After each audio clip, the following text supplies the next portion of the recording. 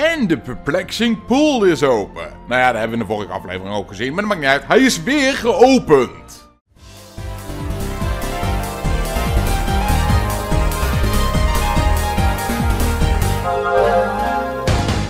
Goedemiddag allemaal en welkom terug bij een nieuwe aflevering van Let's Play Pikmin 2. En ik vind het nog steeds leuk dat dat ruimt. Ehm... Ten eerste, ik hoop dat iedereen een hele leuke kerst heeft gehad. Uh, wil je dat delen, kun je natuurlijk in de reacties kwijt als je daar tijd hebt. Maar uh, ja, het is na kerst, het is nou zondag vandaag voor de mensen die het laten terugkijken. Leuk om te weten welke dag dat we opnemen. Maar uh, ja, ik heb besloten om toch vandaag een aflevering te plaatsen, omdat we vrijdag, kerstavond, geen... of ja, vrijdag was eerste kerstdag, kerstavond hebben we wel. Vrijdag was eerste kerstdag, toen hebben we geen video geüpload. Dus vandaar dat ik vandaag toch heb gekozen om een video te uploaden. Goed, met dat eventjes out of the way. We hebben dus de Awakening Woods, daar hebben we een paar potions gehaald. Hebben we een treasure gehaald, waardoor dat de Perplexing Pool open is gegaan. De. Perplex... Het zwembad, die... Uh, weet je... Daar is een heleboel te doen. En dit is in één dag mogelijk. En dat wil ik dus voor elkaar gaan krijgen. Dus dit wordt een hele spannende aflevering. Hopelijk dat we alles voor elkaar kan krijgen wat ik vandaag eigenlijk wil gaan doen. En nou heb ik in de reacties iets heel erg leuks gelezen. Want uh, er was iemand die had dat geschreven. Ik weet niet precies wie dat het was. Uh, klink jij daarin bekend? Ja, dan uh, nog wat leuker voor. Um, die had namelijk geschreven dat heel veel van Pikmin 2 lijkt op de werelden van Pikmin 1. Zoals de Perplexing Pool lijkt heel erg veel op het waterlandje, zeg maar, van Pikmin 1. Nou, nou hebben we dus eigenlijk heel weinig tijd om te uh, verspelen. Dus ik moet heel goed geconcentreerd zitten. We nemen alle witte Pikmin nemen we mee. We nemen alle paarse Pikmin nemen we mee. En de rest nemen we allemaal mee, onze rode. Voor alleen nu. Dat is heel erg belangrijk. En ik mis er nog een paar, of niet? Heb ik alles? Nee, ik heb alles. Oké. Oké, dan gaan we hier heel eventjes de rode pakken. Dit is alleen voor nu, want de rode die willen we dadelijk namelijk terugplaatsen. Omdat zoals je kunt zien hebben we hier ook maar weer 95 plip, Pikmin. Pikmin. Goh, ik kan echt praten vandaag. Nou, het eerste wat we willen gaan doen is, als je hier dus al rondkijkt, dan zie je dus al dat er heel erg veel op, uh, ja, hoe heette dat? De, de, de uh, Lake. Lake of Hope of zo, weet ik veel. Maar goed, Um, ik heb trouwens ook gehoord dat heel erg veel mensen de V-stem haten. Dus ik zal die wel weglaten. Speciaal voor. Omdat iedereen heeft een aan de V-stem. Niks over. Dus. Um, Oké, robot time. Look off of the distance. Wild Pikmin. Can you see them, Captain Alomar? Ja, dat kunnen we zeker. They are yellow Pikmin. Goh, ons vliegtuigje. Vliegtuigje. Ruimteschip is niet kleurendoof. You encountered them when you were crashed on this planet, isn't that correct? Ja, dat is correct. It would be most helpful if they remember you like the red ones did. Yes, most helpful. Die zullen zeker heel erg helpvol zijn. Maar dan moeten we dat natuurlijk wel voor elkaar krijgen. Nou, het eerste wat we willen doen is...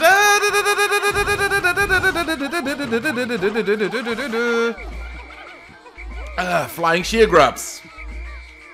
Die willen we hier eerst even uit de weg halen. Geloof me, dit wil je echt doen. Want op het moment dat je ze vergeet dat ze hier zitten... zullen ze je enorm lastig gaan vallen. Op het moment dat je ze dus, zeg maar, daar laat uh, liggen. Goed, nou, we willen zo snel mogelijk deze kant op. En hier hebben we weer een nieuwe vijand, de Yellow Wollywog. Weten jullie nog hoe moeilijk dat die was in uh, Pikmin 1? Hier op letten. Je bent een lachertje, je bent een lachertje. Want ik gooi gewoon een paarse Pikmin op en dag. Paarse Pikmin. Hier hebben we trouwens de eerste cave. Die laten we nog heel eventjes links liggen. Omdat er is heel erg veel, zoals ik al zei, dat we hier moeten doen. En daar hebben we onze hele squad van Pikmin hebben we hiervoor nodig. En dit moeten we zo snel mogelijk doen. Het eerste wat we hier willen doen is, we hebben hier dezelfde puzzel als die we in de vorige dag hebben gehad. En dan willen we dus, al onze Pikmin willen we hier zo snel mogelijk bovenop gooien. Het is de enige manier om de Pikmin hier zo snel mogelijk bovenop te gooien.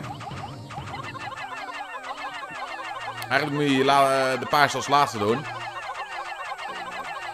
Eh, veel maakt het niet uit. Zolang ze dan allemaal maar op zitten. Oké, nou hebben we hier nog drie paarsen. Twee daarvan gaan mee naar boven.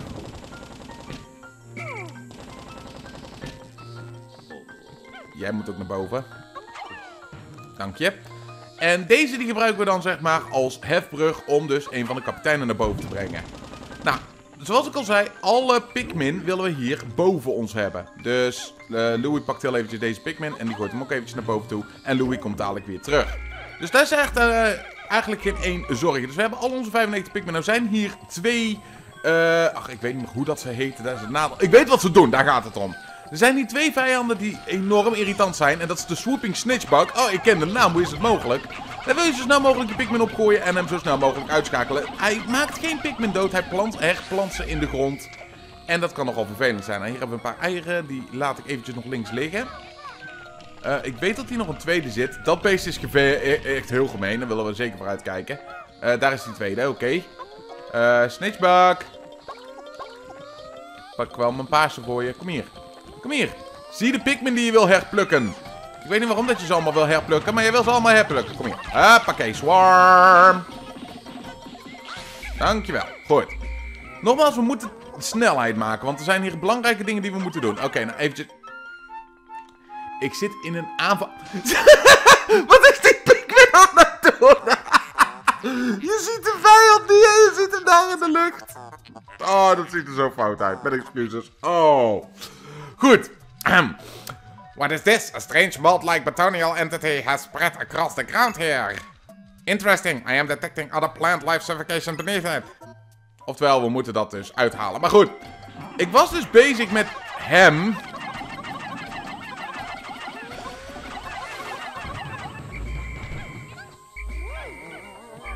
Alles goed gegaan? Mooi. En nou komt dus zeg maar hetgene wat dus heel belangrijk is om te doen. We willen onze paarse Pikmin en onze witte Pikmin, ja, die willen we gaan gebruiken om deze brug hier eventjes af te maken. Daar gaan we nu al gelijk aan beginnen. Onze rode Pikmin daarentegen, die krijgen een hele belangrijke gevaarlijke taak. Zorg ik wel voor dat dit allemaal rode Pikmin zijn, want anders hebben we een heel erg groot probleem. Dit is de enige plek waar ik echt de rode Pikmin nog in nuttig vind. Ja, mijn excuses. Maar eh, je hebt hier de eh, Firing Bullborb.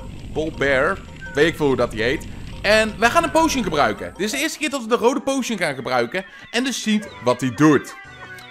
Deze potion die zorgt ervoor dat je Pikmin sneller zijn en sterker zullen zijn. Dus Astounding! The heads of the Pikmin are glowing and they seem extremely agi- agitated. Agitated.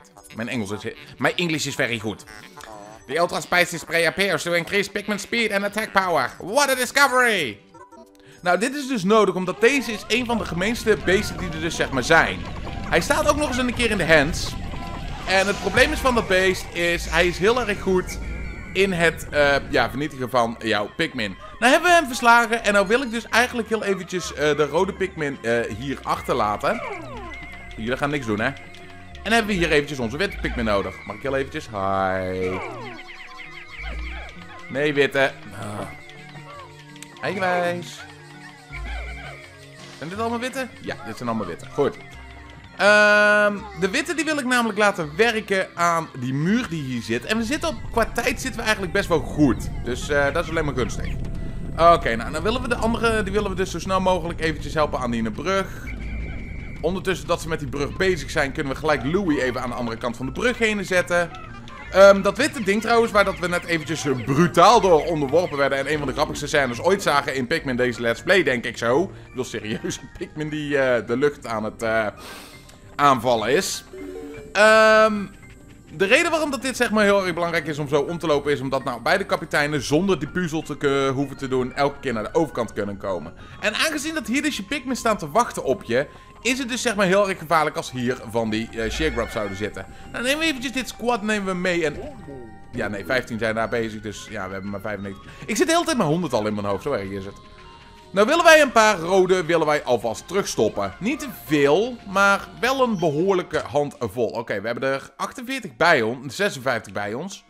Eh, maak er maar ja, 30. 30. Ik heb er 30.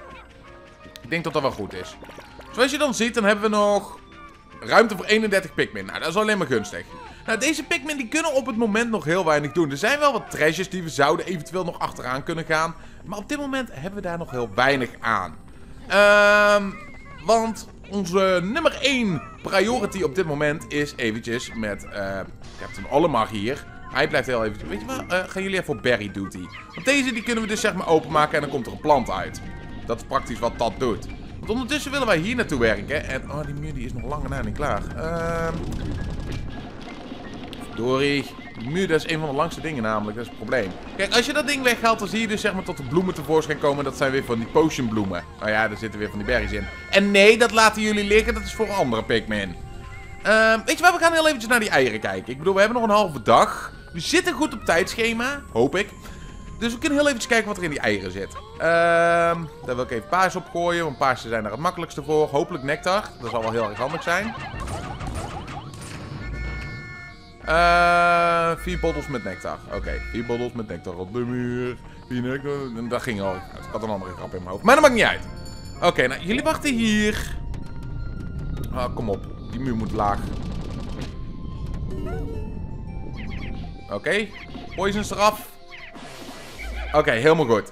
Nou, dan gaan we dus naar die Yellow Pikmin toe. En als we die Yellow Pikmin oproepen, dan krijgen we dus gelijk weer de cutscene. Yay, Yellow Pikmin! En ze zijn nogal schokkend geworden. Waarschijnlijk zijn Pikmin geëvolueerd in schokkende Pikmin. A yellow Pikmin has climbed down the tree and is star staring in this direction. Goh, goed gezien. They appear to like high places and seems to be quite light. They also have very large ears. Ook goed gezien. If I had named them, they would be called Ear Pikmin. But I will use the name of Alamar gave them. Yellow Pikmin. Dat dacht ik ook. Curious, my static electricity sensors are reacting violently. What could this mean? Nou, dat is dus een nieuwe gimmick in Pikmin 2. Eh, ik heb het nog niet echt over de type Pikmin gehad. Over eh, hoeveel, eh, ja, over wat nou de fijnste Pikmin zijn en noem maar op. Ehm, het eerste wat ik wil gaan doen, is ik wil eventjes deze gele eh pallet posies, die wil ik eventjes naar beneden halen. En goed opletten wat ik doe. Ik geef hem vier witte. Ik zei vier, niet vijf. Ook hoort dan twee. En als je dan een gele geeft, dan gaat het automatisch naar de gele onion. Dat willen we ook zeker doen met deze gele hier. Goed zo. Weet je waar, we gooien daar even onze hele squad op. Op 1A. Ik zei op 1A. Op twee- heb ik- Oké, ja, dat is ook goed. Eh, dan pak jij even die mee. Jij pakt heel eventjes die mee. Nou, van alle kleuren Pikmin die we dus op het moment hebben, eh, zijn geel de beste Pikmin in het spel. Weten jullie nog in Pikmin 1 dat rood juist een van de beste Pikmin waren, omdat dat de sterkste Pikmin waren? Rood is in Pikmin 2 het meest nutteloze geworden van alle Pikmin soorten die er zijn. Dit klinkt misschien heel erg raar of misschien zelfs een beetje grof. Maar het is gewoon zo. De feiten die liegen er niet over. Ehm, want rode Pikmin waren het sterkste. Er zijn nou de Pixel... eh, de, de paarse Pikmin. Leuk joh, als je woorden door elkaar kunt halen. Gaat heel erg goed. Maar daar zijn dus nou de paarse Pikmin voor. De paarse Pikmin zijn nou de beste aanvallers. Ehm, dan heb je ook nog de... ehm, ja, tot ze zeg maar... eh, ja, vuurresistance. Vuur kun je tegenwoordig uitschakelen. En volgens mij maak ik hier een hele domme fout. Eh, nee, nog niet. Nee. Ah, ah, ah. Niet automatisch een nectar gaan. Dat is een hele grote fout. Die gaan we niet doen. Ehm, ik wil eventjes tot wat gele aan deze even meenemen. Dat zijn ook weer heel veel gele die daarbij bij kunnen komen. Hoppakee. En ondertussen dat we dan toch bezig zijn. Och, jullie zijn alweer die bestjes aan het opvreten. Leuk hoor. Ehm, wil ik dus zeg maar één gele. De rest wit. Oké, nou die gaat wel naar geel. Dat is wel goed. Maakt niet uit. Paarse potions. eh, twee hebben we nou nog even genoeg aan. Want we hebben geen tijd om aan potions eigenlijk te werken. Eh... allerbelangrijkste is nou dus zeg maar dat we onze gele nummers op gooien. Maar goed, eh, rode Pikmin, eh, ja, vuur kunnen we dus zeg maar uitschakelen. Of daar hebben we onze paarse voor, net zoals met de Fiery Blowhawk. Dat we ons nog niet eens zorgen hoeven te maken. Over dat er dus een eh, gele Pikmin, of een gele Pikmin, of dat er daar een rode Pikmin voor nodig is. Dit zijn een paar van die voorbeelden die ik dus bedoel te geven op het moment dat je dus, ja, niet echt rood zo hard nodig hebt. Gele Pikmin daarentegen. Je zag ze net sparken. Je zag ze net ehm, een beetje elektriciteit afgeven. Een nieuw eh, gimmick in dit spel is elektriciteit. Elektriciteit zorgt ervoor dat Pikmin ehm, bij aantak, eh, bij, bij- gewoon als ze alleen al elektriciteit aanraken, gelijk, zeg maar, ehm, doodgaan. Pikmin die kunnen niet tegen elektriciteit. Nou is er maar één type Pikmin die dat wel kan. En daar spelen we nu mee. De gele Pikmin. Ja, jullie zijn een beetje aan de trage kant, maar dat maakt niet uit. Ehm, dus dat maakt de gele Pikmin enorm useful. Dat is echt een van de beste usefulheid die er dus zeg maar in Pikmin zit. Maar ik heb nog heel weinig van de tijd over. En ik wil dit gedaan hebben. Oké, nou jullie even nectar opslurpen. Dat jullie allemaal bloemetjes zijn. Zijn jullie allemaal bloemetjes? Ik vind van wel. Oké, dan wil ik jullie gelijk aan dit hek laten werken. Kom op. Allemaal.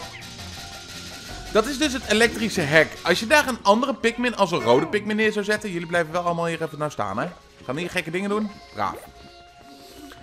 Als je daar dus zeg maar nou iets anders mee zou doen, bij wijze van spreken, eh, je zou ervoor kiezen om eh, rode Pikmin daaraan te laten werken. Bij het moment dat ze dus die eh, dingen aanraken, sterven ze al gelijk. Het is nog erger dan water. Uit water kun je ze normaal gesproken redden, bij poison zou je ze kunnen redden. Maar met stroom is het instant death. Dat maakt het zo gevaarlijk voor deze Pikmin. Dus, gele Pikmin. Geweldige Pikmin. Daarom ben ik zo blij dat we ze ondertussen al hebben. En geloof me, er zitten ook heel veel elektriciteitsvijanden in. Nou, waarom moet dit hek zo snel mogelijk naar beneden toe? Eh, dit heeft een hele belangrijke reden. Daarachter zit een cave. We hebben al een eerdere cave gezien, maar er zit nog een cave. En verdorie, ik ben helemaal verkeerd gelopen. Eh, oh, Wollywop. Jij laat de Pikmin maar rust, hè? Laat jij die Pikmin maar rust? Nee, hij laat de Pikmin daar niet meer rust. Eh, damn. Ga weg. Oh, terug, terug. Oké, hij laat ze nou wel weer maar rust. Ja, hij moet nou eh Louis hebben. Hopelijk laat hij de gele Pikmin maar rust, want echt, we hebben nog maar heel weinig tijd. Ehm, ik ga alvast eventjes die andere Pikmin eventjes tevoorschijn halen. En dan is het dus heel erg handig om die al klaar te zetten, mocht dat hek nou op tijd naar beneden toe gaan, om dan die cave in te duiken. Dit is omdat we zo eigenlijk al gelijk twee caves zouden kunnen doen in één dag. Ehm, dus nou moeten we eventjes al onze andere Pikmin eventjes hier bij elkaar verzamelen. Even kijken, we hebben 31 gele. Waar zijn onze... Oh ja, wacht, we hebben hier nog een witte. Oké, 69, we zitten goed. Daar zit Nectar, maar die hebben we niet nodig. Oké, kom op, het hek is bijna neer. Kom op, haal dat hek neer. Haal dat hek neer. Oh, die... Ja, hij is neer, hij is neer, hij is neer. Oké. En dan pak je dus zo snel mogelijk die Pikmin. En dan wil je gelijk deze cave in. Oeh. Nou, de aftelling is nog niet begonnen. Daar ben ik eigenlijk heel erg blij om. Interesting, my order detectors are reacting. A strong scent. What's from that hole? Nou, dat is heel erg mooi. Fijn dat het daar kwam. I am a machine, so rating sense is beyond me. But your faces tell me all, all I need to know. You are both drooling. I wish just once I could feel what it is like to drool. Voor de mensen die niet weten wat drool is, is kwijlen. Nou, dat geloof me, dat wil je niet. Het is een smerig dingetje. Maar goed, we hebben dus 100... Oh, de aftelling is begonnen. Oh, gelijk erin. Oké, dus hier zie je al gelijk bij Glutton's Kitchen... dat we dus één hazard hebben en dat is stroom. Waar ik het al over heb gehad. Dit wil ik bewaren voor de volgende aflevering... aangezien dat we praktisch een hele dag al hebben eh, gedaan in deze wereld. Dus... In de volgende aflevering, die gewoon maandag zal plaatsvinden... ga ik zeker met jullie hier al gelijk deze cave in...